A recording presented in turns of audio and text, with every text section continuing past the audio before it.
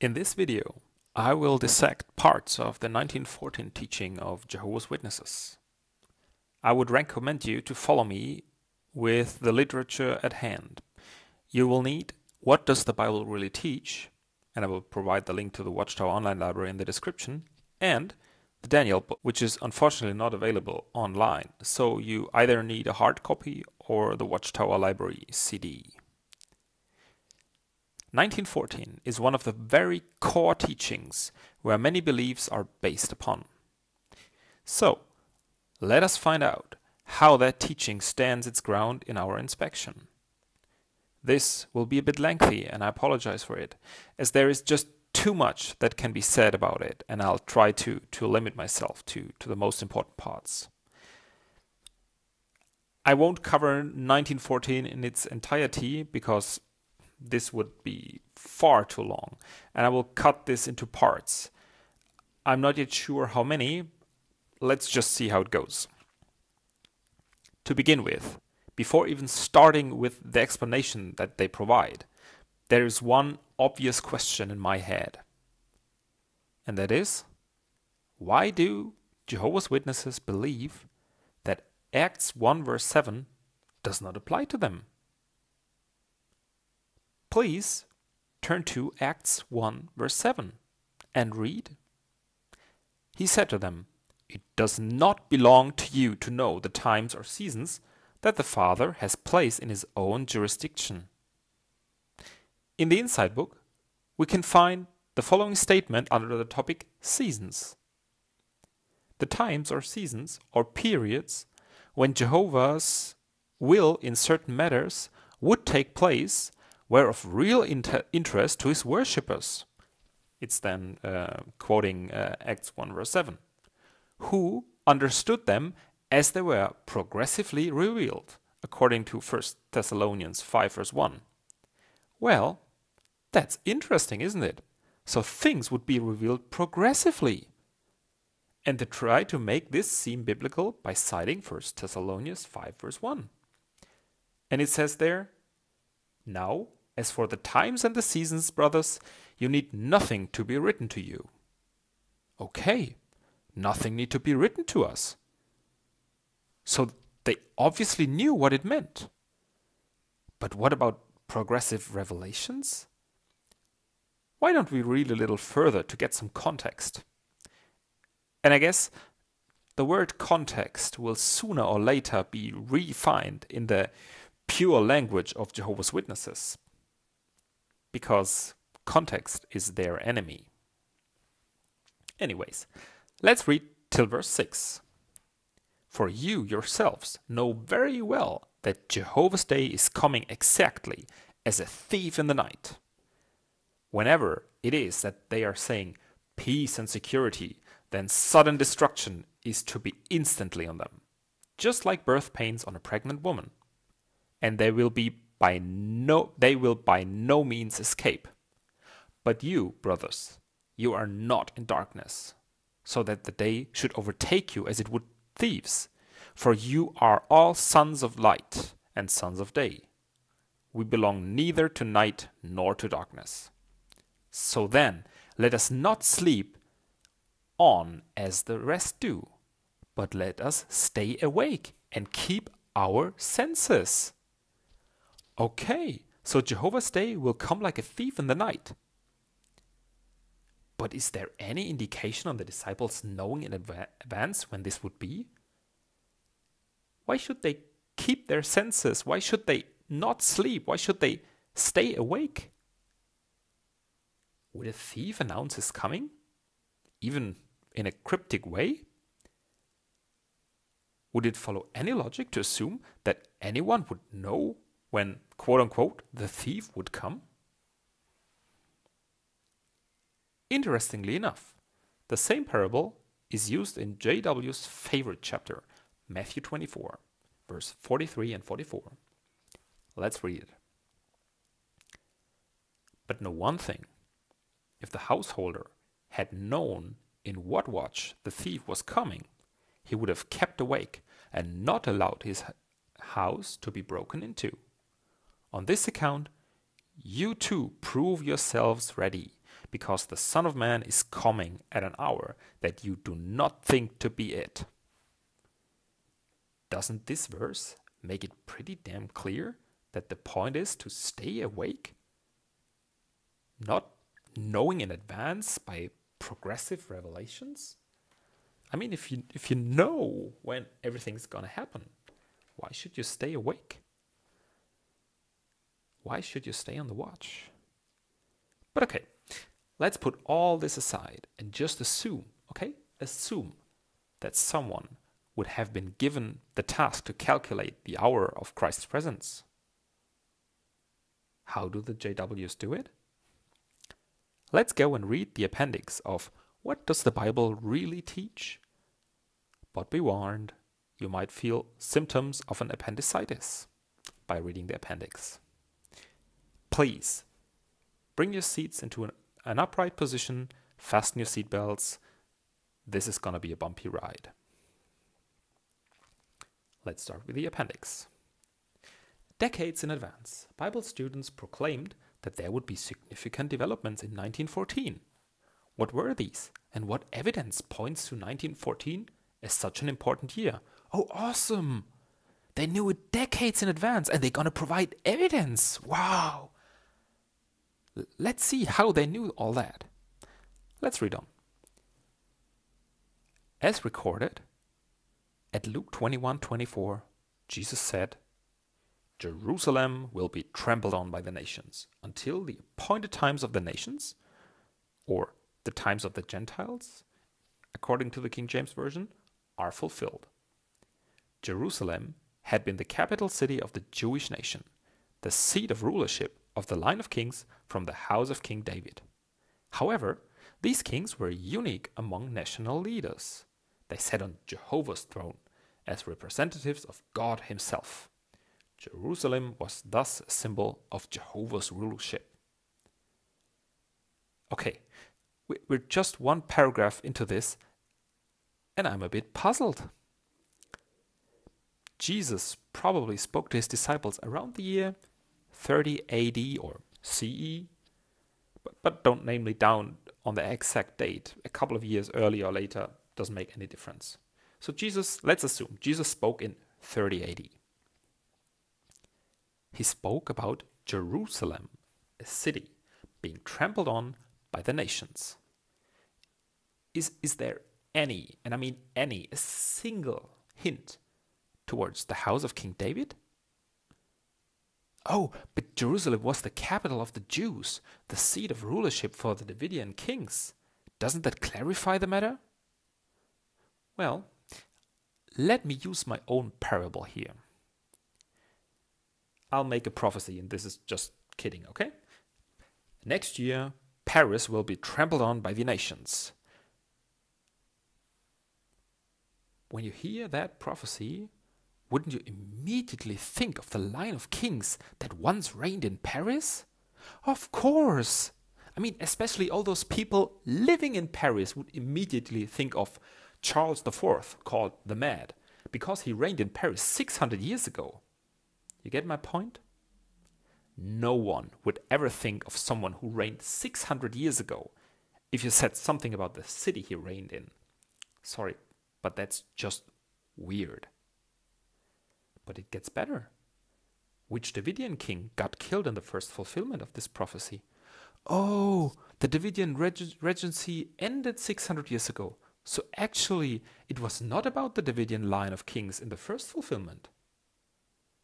We could stop here and laugh about the attempt to jump over Acts 1 verse 7, but no, not with the JWs. If they see a centrop, they take a run.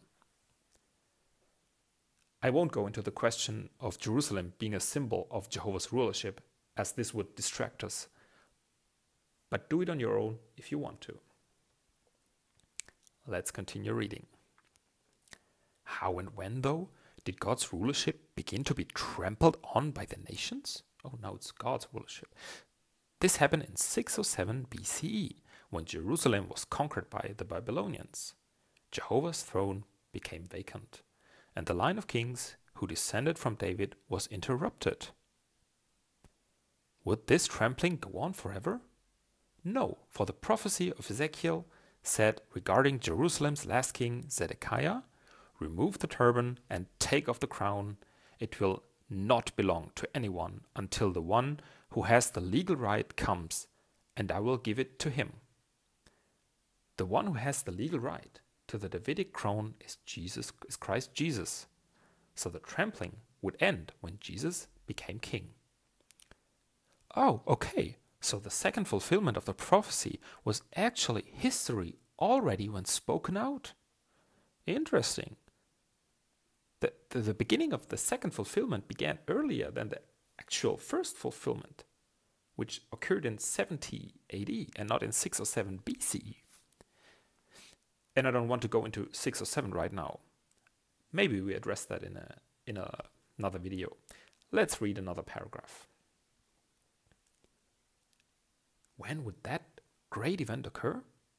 Jesus showed that the Gentiles would rule for a fixed period of time. The account in Daniel chapter 4 holds the key to knowing how long that period would last. It relates a prophetic dream experienced by King Nebuchadnezzar of Babylon. He saw a tree of enormous height that was chopped down. Its stump could not grow because it was banded with iron and copper. An angel declared, Let seven times pass over it. I could imagine the following conversation after this paragraph has been read in a, in a book study.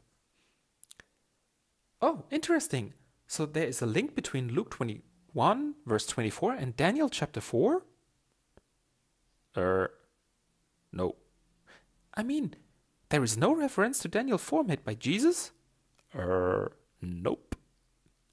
But but they were obviously talking about the same thing, things, right?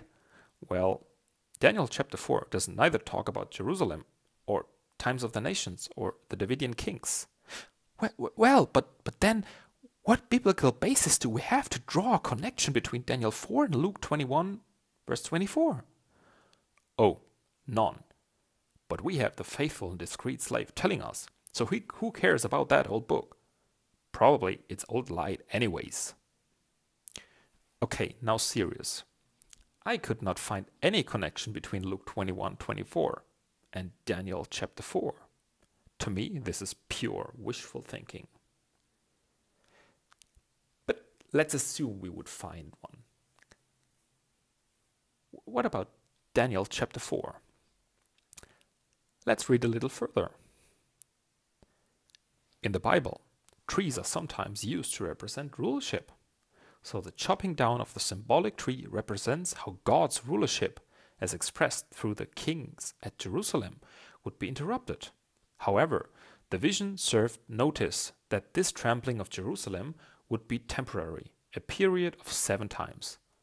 How long a period is that? Oh, trees represent rulership. Interesting. But did you gain any insight on what all this had to do with what Jesus said about Jerusalem being trampled by the nations? Did the provided evidence suffice you to believe that the tree is about Jehovah's rulership? No? Okay, so let's dig a little deeper. Let's see what the Daniel book tells us about this. Unfortunately, as I mentioned uh, in the beginning of the video, it's not available online. So you have to use your, your CD-ROM or hard copy if you have one.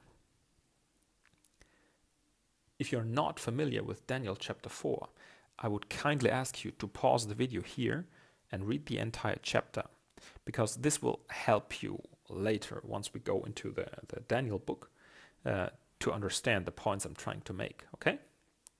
So if if it has been a while since you read Daniel chapter 4, just pause the video, take the five minutes to read the chapter, and then uh, play the video, okay? I will now read paragraph 10 on page 87 of the Daniel book. Upon hearing the dream, Daniel was momentarily astonished, then fearful. Urged by Nebuchadnezzar to explain it, the prophet said, O oh, my lord, May the dream apply to those hating you and its interpretation to your adversaries. The tree that you beheld, that grew great and became strong. It is you, O king, because you have grown great and become strong, and your grandeur has grown great and reached to the heavens, and your rulership to the extremity of the earth. In the scriptures, trees can symbolize individuals, rulers, and kingdoms. Like the immense tree of his dream, Nebuchadnezzar has grown great and become strong as the head of a world power. But rulership to the extremity of the earth, involving the whole kingdom of mankind, is represented by the great tree. It therefore symbolizes Jehovah's universal sovereignty, particularly in his relationship to the earth. Okay, so now we are clear that in the first fulfillment of this prophecy, the tree stood for Nebuchadnezzar. All this is supposed to teach him that Jehovah gives the kingdom of mankind to whomever he pleases, according to verse 17. If you read the whole chapter, and hope you did, it gets clear that Jehovah is above the tree because he can send a watcher commanding to chop down even the most powerful kingdom on earth. But what this paragraph now attempts is just ridiculous. It states, But rulership to the extremity of the earth, involving the whole kingdom of mankind, is represented by the great tree. It therefore symbolizes Jehovah's universal sovereignty, particularly in its relationship to the earth. Well, we, we just read it right from the Bible in verse 20 to 22. The tree that you saw, it is you, O king. That's what it specifically said, referring to Nebuchadnezzar. But the paragraph tells us no, no, this is not what it means. It actually means that this is Jehovah's rulership. The tree is Jehovah's rulership. If so, who then sent the watcher to chop down the tree? Jehovah chopped himself down? Let me quote Matthew 12:24 to you on this matter. Every kingdom divided against itself comes to ruin, and every city or house divided against itself will not stand. Does, it make, does this make sense to you? No? Be patient, it gets worse.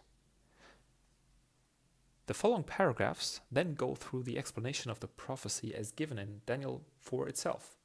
If you want, read them. I won't discuss them here. But starting with paragraph 24, it gets exciting again. Seatbelt still fastened? Great. As represented by the great tree, Nebuchadnezzar symbolized world rulership. But remember, the tree stands for rulership and sovereignty far grander than that of Babylon's king. It symbolizes the universal sovereignty of Jehovah the king of the heavens, especially with respect to the earth. Before Jerusalem's destruction by the Babylonians, the kingdom centered in that city with David and his heirs sitting on Jehovah's throne represented God's sovereignty with reference to the earth. God himself had such sovereignty chopped down and banded in 607 BCE when he used Nebuchadnezzar to destroy Jerusalem exercise of divine sovereignty toward the earth by a kingdom in the line of David was restrained for seven times. How long were these seven times? When did they begin? And what marked their end? Okay, first of all, it was not Nebuchadnezzar that, that symbolized world rulership. He actually had world rulership. Let's be precise, okay? It was the tree in the prophecy that symbolized world rulership. Furthermore, I think after reading Matthew 12 24 and using your gray matter between the ears, it is obvious that the tree does not also represent Jehovah's universal sovereignty. And please, how dare you even think that David sitting on Jehovah's throne might symbolize Jehovah's universal sovereignty? Yes, he was sitting on Jehovah's throne, but symbolizing his universal sovereignty? I mean, this line of kings was never even close to world power. Not even close. Oftentimes, there were vassals subjected to gentle, gentle kings, too weak to defend themselves. exercising divine sovereignty by a kingdom in the line of David being restrained for seven times? Sorry, but this is just nonsense to me. Let's read Psalms 145, verse 13. Your kingship is an eternal kingship, and your dominion endures throughout all generations. Does that sound to you like giving up sovereignty over earth for some time? Let us see how this continues. During Nebuchadnezzar's madness, his very hair grew long just like eagles' feathers, and his nails like birds' claws. This took longer than seven days or seven weeks. Various translations read seven times, and alternatives are appointed definite times or time periods. A variant of the Old Greek reads seven years. The seven times were treated as seven years by the first century Jewish historian uh, Josephus. And certain Hebrew scholars have viewed these times as years. Seven years is the rendering in the in an American translation, today's English version, and the translation by James Moffatt. Oh wow, this was kind of a leap over huge parts of this prophecy. They dig right into the seven times. But I would have some questions about the second fulfillment. But as they will raise f- more questions during the next paragraphs, let us just collect the questions and I will I will tell you my questions uh, at the end of the, uh, the this chapter. So let's read on. Evidently, Nebuchadnezzar's seven times involved seven years. In prophecy, a year averages 360 days, or 12 months of 30 days each. So the king's seven times or seven years were 360 days multiplied by seven, or 2,520 days. But what about the major fulfillment of his dream? The prophetic seven times lasted much longer than 2,520 days. This was indicated by Jesus' words Jerusalem will be trampled on by the nations until the appointed times of the nations are fulfilled.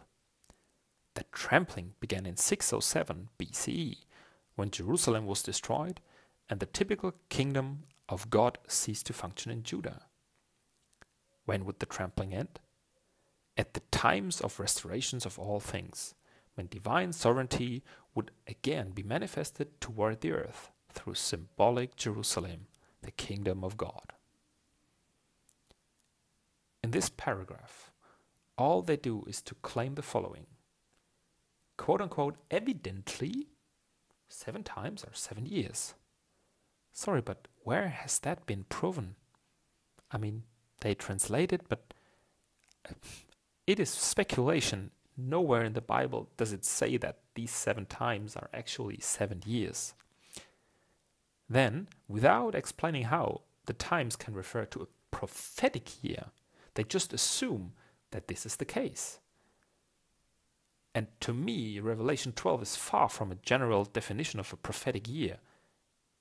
It is a different prophecy, and to me, it is not clear how the times in plural mentioned in Revelation must definitely mean specifically two to add up to three and a half. But that aside, where in Jesus' words did they find an indication that the trampling would last for any specific length of time? I can't find an indication of a specific time span that would be indicated in the Bible. I mean, he's talking about appointed times of nations are fulfilled. But but did he say, okay, this will be told to you somewhere? And why do seven times refer to prophetic years instead of regular ones? Where does the Bible tell us to split up times into 360 days and then convert days into years again? Sorry, I don't get it. Maybe the next paragraph will enlighten us a bit. If we were to count 2,520 literal days from Jerusalem's destruction in 607 BCE, that would bring us only to 600 BCE, a year having no scriptural significance. even in 537 BCE, when the liberated Jews were back in Judah, Jehovah's sovereignty was not manifested on the earth. That was so because Zerubbabel, the heir to David's throne, was made not king but only governor to the Persian province of Judah. Oh, now everything falls into place. I see. Nothing happened after 2520 days. So therefore they had to apply. Second Splain 1337, where it says, Thou shalt take days for years if nothing happened. Okay, my sarcasm again, I'm sorry. But seriously, all they provide you is the nothing happened argument? That's all they have? Ridiculous, sorry. Let's read on. Since the seven times are prophetic, we must apply to the 2520 days the scriptural rule a day for a year. This rule is set out in a prophecy regarding the Babylonian siege of Jerusalem. The seven times of earth's domination by Gentile powers without interference by God's kingdom therefore spent 2520 years. They began with the desolation of Judah and Jerusalem in the seventh lunar month, Tishri, 15 of 607 BCE. From that point to 1 BCE is 606 years. The remaining 1914 years stretch from then to 1914 CE. Thus, the seven times or 2520 years ended by Tishri 15 or October 4th slash 5th 1914 CE. Hmm. Now, please help me again. Where did the Bible say to, to, to jump from seven times to 2,520 days again? And where did it say to apply something that happened in Ezekiel 4? Was Ezekiel establishing a kind of general rule? Or Numbers 14, maybe? Maybe there was a hint that Nebuchadnezzar's madness lasted 2520 days? No? Sorry, this, this is all just speculation and it doesn't add up.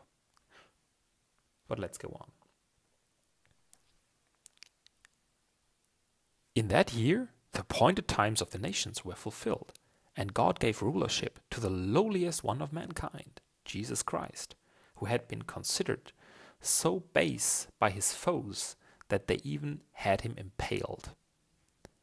To enthrone the Messianic king, Jehovah loosened the symbolic iron and copper bands around the rootstock of his own sovereignty. The Most High God thus allowed a royal sprout to grow from it as a manifestation of divine sovereignty towards the earth by means of the heavenly kingdom in the hands of David's greatest heir, Jesus Christ. How we thank Jehovah for this blessed turn of events and for unraveling the mystery of the great tree. I think for, for all believers in the Bible, this must be a slap in the face right now. Please how can you call Jesus Christ, the Son of God, the lowliest one of mankind? Is there any, I mean, any single verse, any biblical support for this argument, for this arrogant and presumptuous statement? How many Bible verses did they provide to back it up? Exactly zero. What, why don't you search the Bible for lowliest one of mankind? And see if you can find any verse referencing to Jesus. I could talk more about this, but this would go too far. Take the Watchtower Library CD and research it for yourself if you're curious.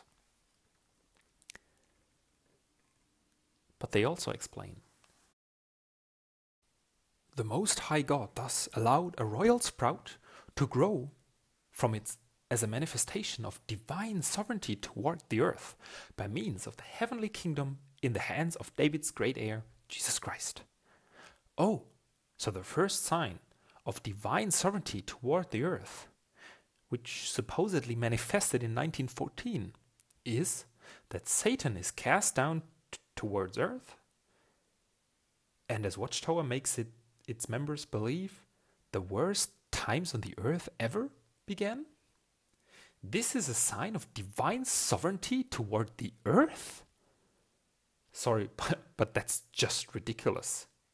I mean, if World War One is supposed to be a sign of divine sovereignty toward the earth, I, I, I just don't get it. And it is in conflict with the verses they provide to make the point of the sprout rising. I mean, read Isaiah 11. It is the chapter where the wicked ones are put to death, and the nursing child will play over the lair of a cobra. Please check the other verses out in context on your own. The video is long enough. So, wasn't that a sound explanation of the second fulfillment? Well, I promised some more questions. Let us compare the symbols of the first and second fulfillment. The tree in the first fulfillment was Nebuchadnezzar's world rulership. In the second fulfillment, or greater fulfillment, it is supposedly Jehovah's universal sovereignty. The tree was chopped to demonstrate that the Most High, which I think is Jehovah, is ruler in the kingdom of mankind, and that he gives it to whomever he wants. And he sets up over it even the lowliest of men. Well, if the tree is Jehovah's sovereignty, whom chopped it down? How did this demonstrate that he is ruler in the kingdom of mankind? And Nebuchadnezzar was given the heart of a beast. Was Jehovah's sovereignty given the heart of a beast too? Or maybe Jesus, who is said to be represented by the lowliest of men? How would humanity, according to verse 17, recognize that the Most High is ruler in the kingdom of mankind if he allowed his sovereignty to be chopped off for more than two and a half millennia? Aren't now all questions concerning Daniel chapter 4 sorted out by reading the Daniel's prophecy book? The rest of the appendix in What Does the Bible Really Teach does not really add anything we haven't discussed already. It just mentions 607, which I may cover in another video, let's see, and Matthew 24 and Luke 21, which also would provide material for another video. Furthermore, we might ask ourselves why the 2520 years should have ended in October 1914 and World War I, which is said to be an effect of Satan cast out of heaven, started on July 28, 1914. So even before he was said to be cast out of heaven, maybe Satan acted based on his understanding of Bible prophecy I think that's it for today. If you like this kind of videos, please like it, give it a thumbs up. Subscribe to my channel and tell me in the comments what topic you would like to see covered, what other topics you would like to see covered. Till next time.